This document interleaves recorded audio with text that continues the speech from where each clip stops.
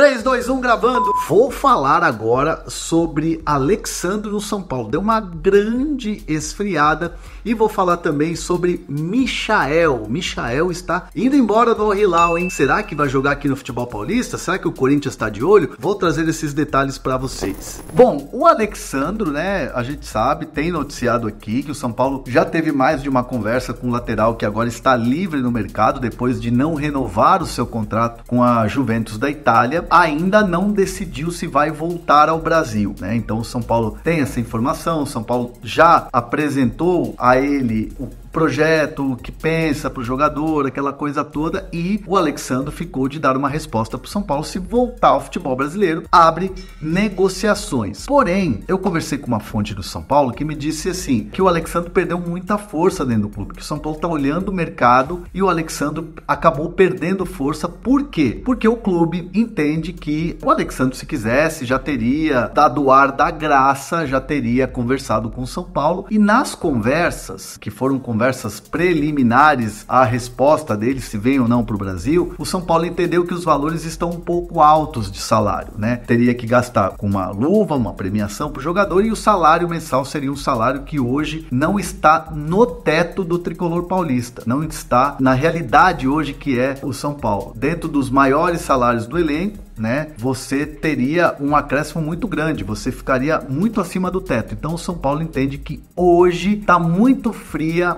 a negociação, a situação, como vocês queiram chamar, o interesse no Alexandre. Então o São Paulo observa mercado, observa outras opções para a lateral esquerda e entende que o Alexandre hoje está longe dos planos, está longe daquela conversa inicial que o São Paulo tinha a expectativa de conseguir convencer o, o, o jogador a abrir negociações e tal e chegar num denominador comum. Então, Alexandre que né, durante muito tempo, o próprio presidente falou, o Belmonte falou, todos os diretores que dão entrevista falam de esperar, ah, vamos aguardar, ver o que ele vai decidir. Hoje, internamente no São Paulo, essa situação é uma situação muito, mas muito distante. Enquanto isso, tem o Wellington, né, que é lateral esquerdo, tá jogando bem, inclusive, tem se dedicado, mesmo já tendo assinado um pré-contrato com o Southampton da Inglaterra. E o Southampton tentou tirar o Wellington agora, mas a oferta foi considerada muito baixa, 2 milhões e meio de reais, é algo que realmente realmente chega a ser até ridículo pensar tirar um jogador que é titular do time de São Paulo hoje, compensação financeira essa muito abaixo. Certo? Deixa agora eu falar de Michael. Michael é, está para rescindir contrato com o Al Hilal. A questão toda é que o número de estrangeiros lá, né, é, é grande. E aí os, o, o Al Hilal do Jorge Jesus tem como intenção já inscrever o Neymar, né, porque o Neymar foi retirado da, da lista de, de inscritos, né, dessa lista de inscritos, porque machucou muito tempo.